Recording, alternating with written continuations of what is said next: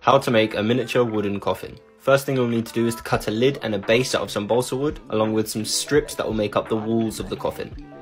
You can then score the wood to make it look like it's made up of individual planks. Then, using a Dremel with a wire brush, you can add some texture to the wood. You can then start building up the structure, adding the walls of the coffin.